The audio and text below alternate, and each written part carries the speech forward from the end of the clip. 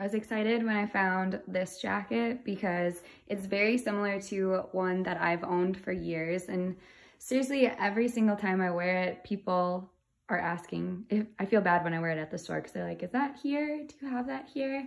Or they ask where I got it and I got it so long ago and then I found this and I'm like, ah, oh, finally something very similar. And it's just a beautiful green color has side pockets. It's like a moto style jacket. You can also wear it zipped up if you want to.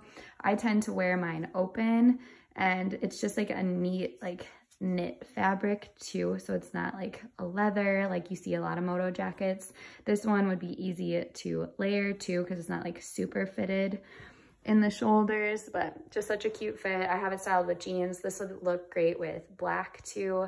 I also wear mine with dresses. You can really do so many things. I wore it to like quite a few fall weddings layered with things just because it gave it more of like a dressy look compared to a denim jacket. So just one of those pieces you're gonna keep for many years and the quality is just amazing.